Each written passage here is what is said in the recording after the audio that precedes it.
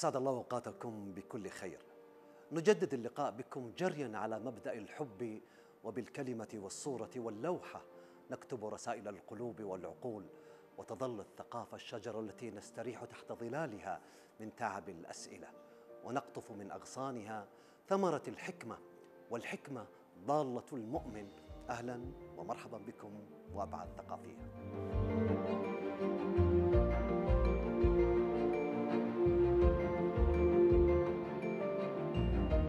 تظل ندوة الثقافة والعلوم في دبي الحضن الذي يستوعب عمق الكلمة والمكان الذي تتقارب فيه الأفكار والرؤى الثقافية التي تقرأ في تحولات الزمن والمجتمعات وبالأخص التحولات الاجتماعية التي شهدتها دول الخليج العربي. الدكتور محمد الرميحي أستاذ علم الاجتماع في جامعة الكويت حل ضيفا على الندوة وروادها ليقول جديده في هذا المجال.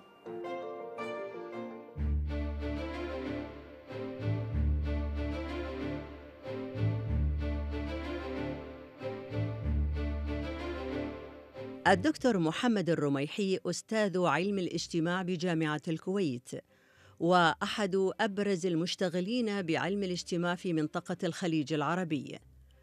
وأحد رواد ثقافة التنوير الذي حل ضيفا عزيزا على ندوة الثقافة والعلوم في دبي وقدمه باحتفاء كبير الأستاذ علي عبيد الهاملي نائب رئيس مجلس إدارة ندوة الثقافة والعلوم.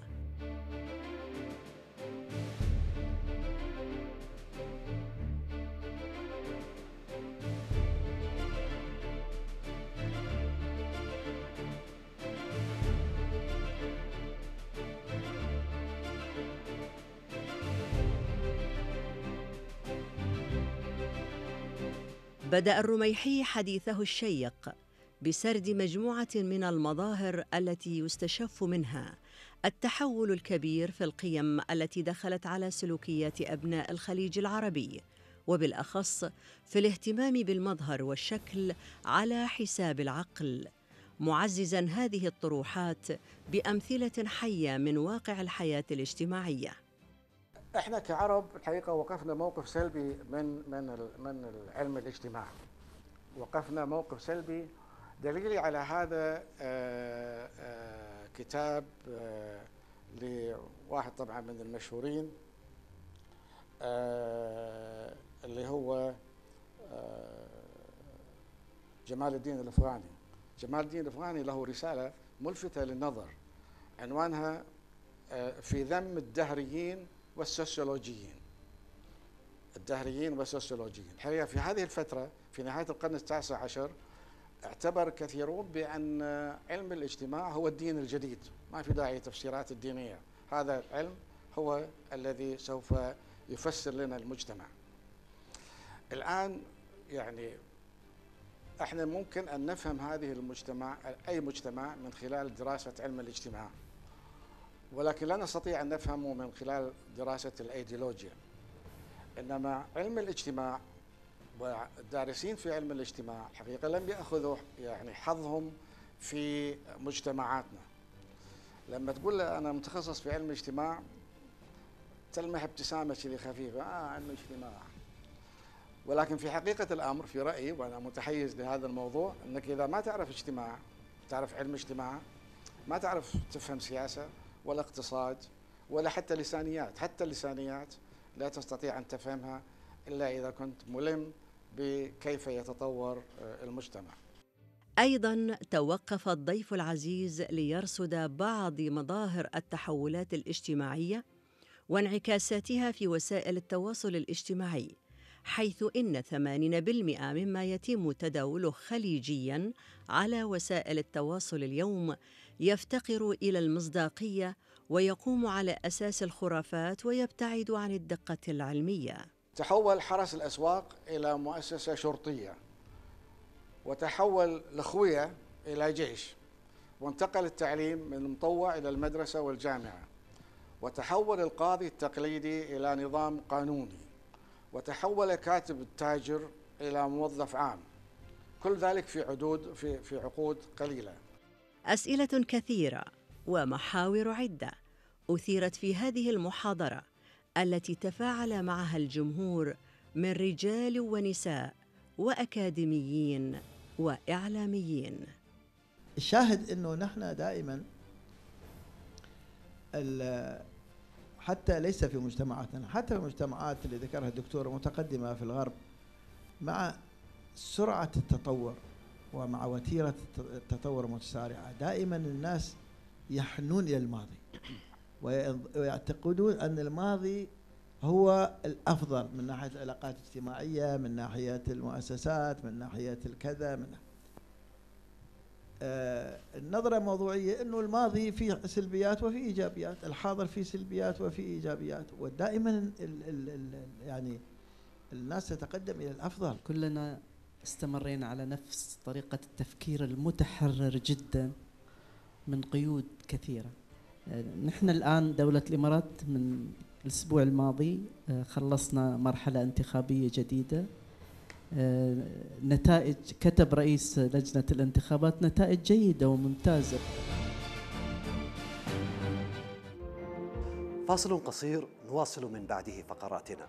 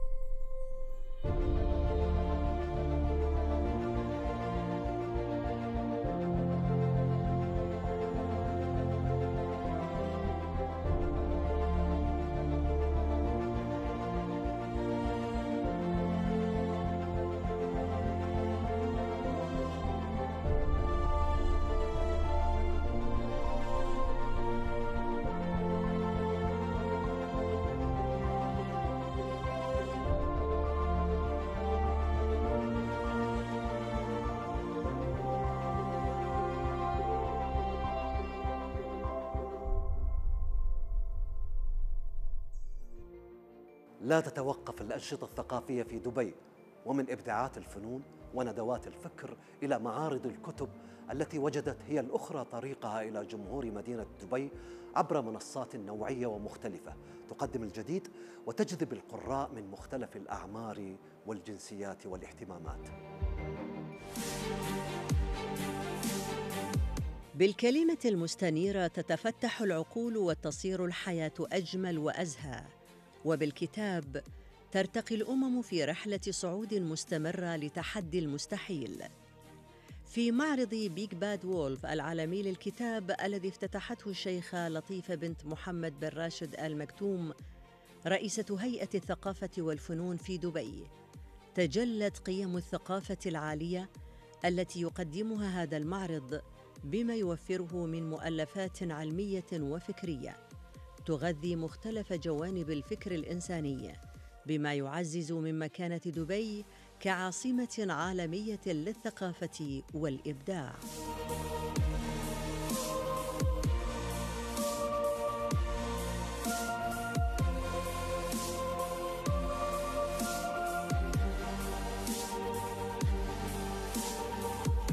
وكانت الجهة المنظمة قد عقدت مؤتمرا صحفيا أعلنت فيه تفاصيل هذا الحدث الثقافي الذي يخدم شرائح كبيرة جدا من المهتمين بالقراءة والمعرفة.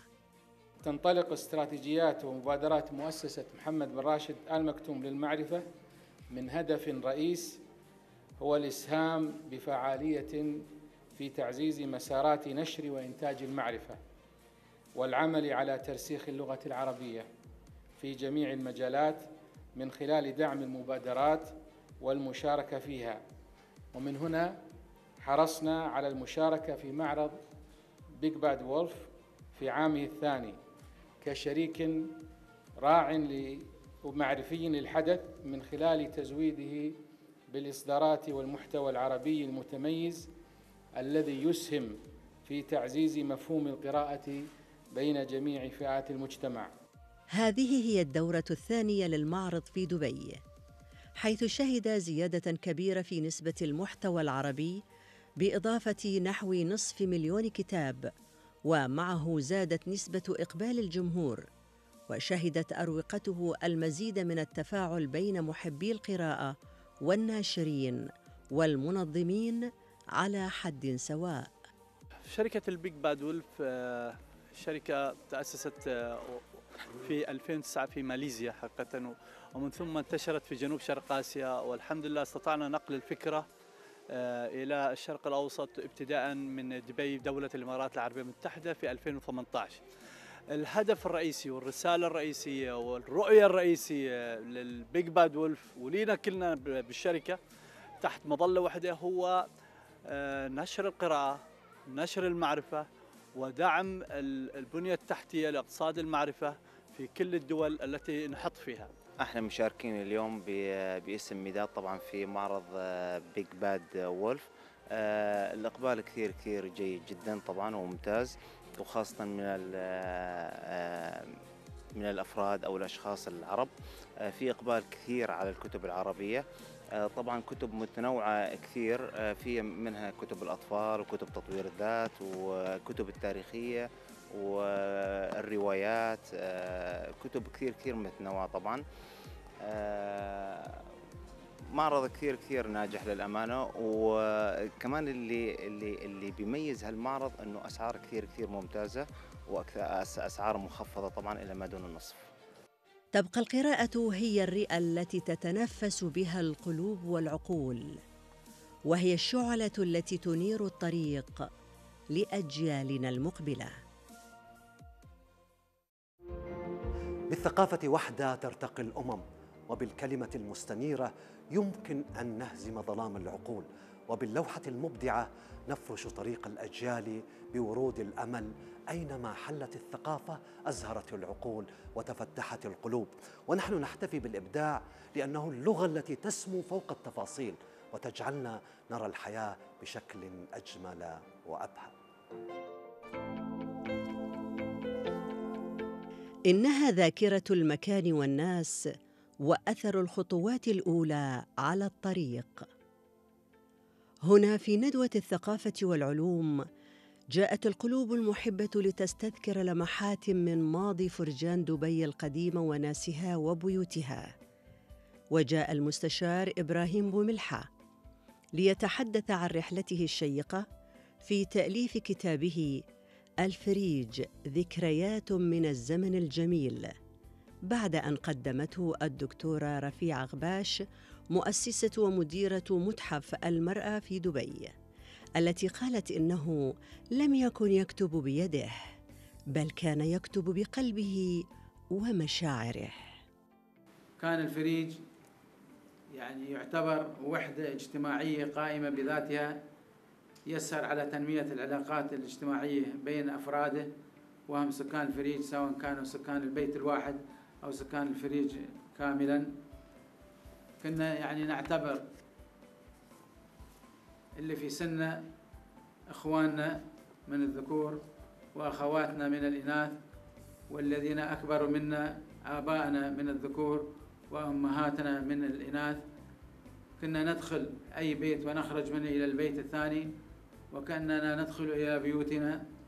لا نحن نحس بالفرق ما بيننا وما بين البيت اللي ندخل فيه ولا أهل البيت يحسون أن نحن غريبين عن عنهم كما قلنا بأن الفريج أدى دور كبير في المحافظة على كثير من التقاليد والأعراف. ومثل ما قلت على أن تاريخ لفريج هو تاريخ لفرجان أخرى وهو تاريخ لمجتمع دبي في ذلك الوقت. ذكر المستشار إبراهيم بوملحة أيضاً أن الفريج جزء من كيان وعادات وتقاليد وأعراف مجتمع عشنا فيه.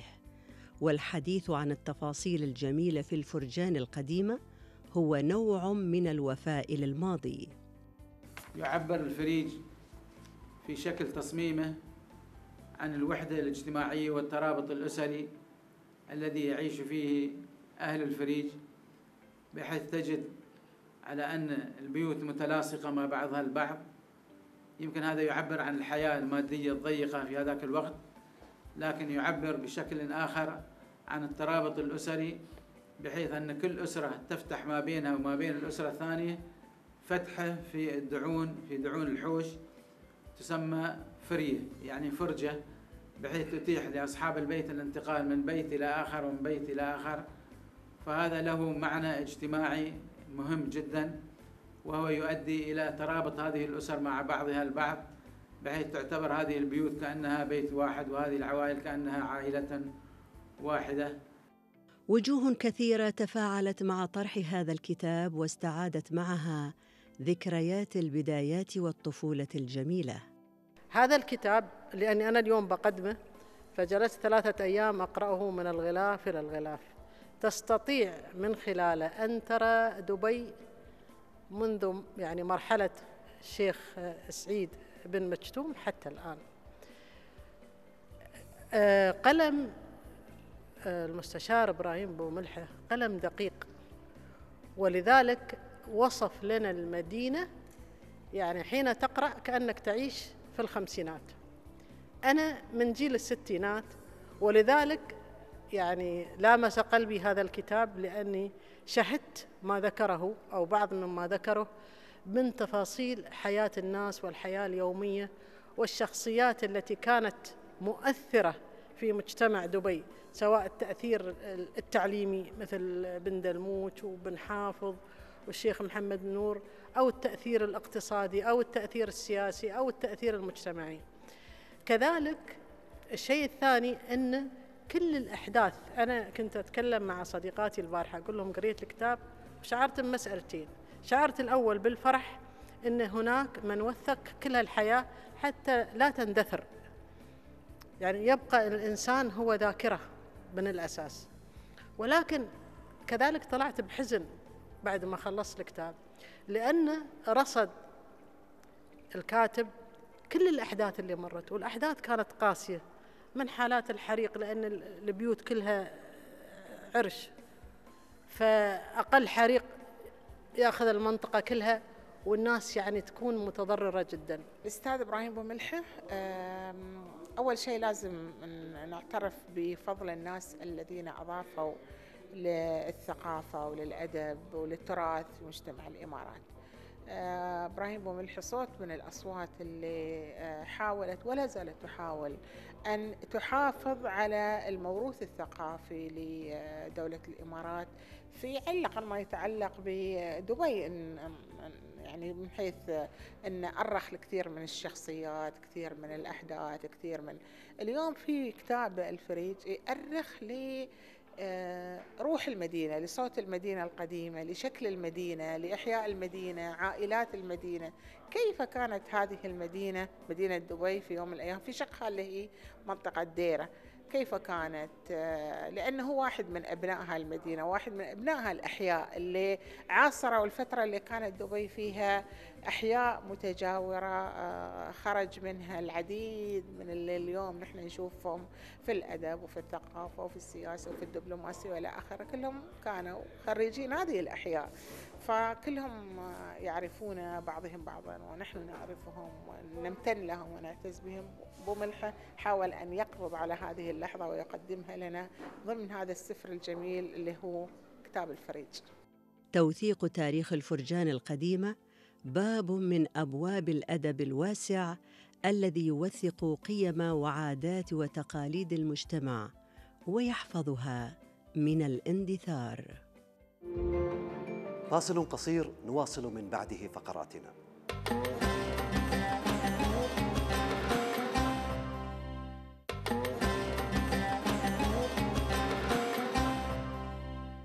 نحن نعيش في عالم الصورة التي أصبحت حرفة فنانين ومبدعين كبار من كل العالم. يمكن للصورة أن تنوب عن الحكاية وعن القصيدة. وهناك صور تركت أثرا في العالم كله أكثر من آلاف الكتب. مصورون من كل مكان التقوا هنا في الإمارات في مهرجان هو الأكبر من نوعه للمصورين في المنطقة. المزيد من هذا في التقرير التالي.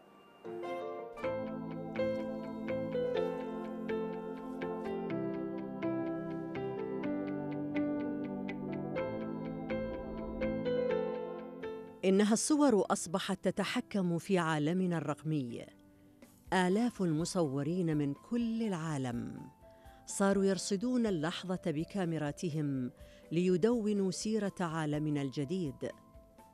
هؤلاء المصورون هم حكاؤ هذا الزمان. هم الرواة الذين يسردون لنا قصصا وحكايات تقرأها العين وتتأثر بها الحواس من غير أن ينطقوا بكلمة. مجرد ضغطة على زر التصوير ليتوقف بعدها الزمن. في صور خالدة.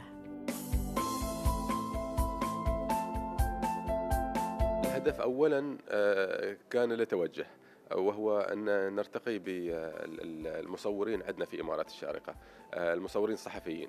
فكانت الفكرة الأولى أن نحن نأسس مهرجان للصورة الصحفية. آه، ولكن آه، تطور هذا المهرجان واكتشفنا أن الصورة الصحفية ما تكون يعني صورة صحفيه قد تضم أكثر من فقط نقل حدث معين. ممكن تضم يعني صور للبورتريه ممكن للطبيعة ممكن يعني أحيانا عندك افتتاحات فلازم تشوف حتى يعني جمالية المكان المبنى. ففي عدة أمور نحن ركزنا عليها من بعد السنة الأولى. كانت الفكرة من بعد ما تطورت إلى مهرجان يضم كل أنواع الصور آه، يعني آه، شفنا خاصة في السنة الأولى آه، تفاجأنا بالكم الهائل من من الشباب اللي حضروا المعرض وكانوا مندفعين يبغون يعني يتعرفون على المصورين العالميين فنحن دائما تشارك معنا الجمعيات الموجودة على أرض دولة الإمارات يعني هم ياخذون جناح كبير والشباب عن طريقهم يكونون متواجدين.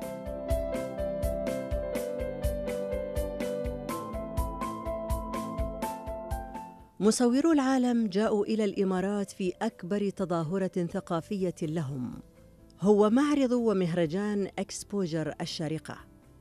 أكثر من ألف صورة فوتوغرافية وثمانية وثلاثين معرضا فنيا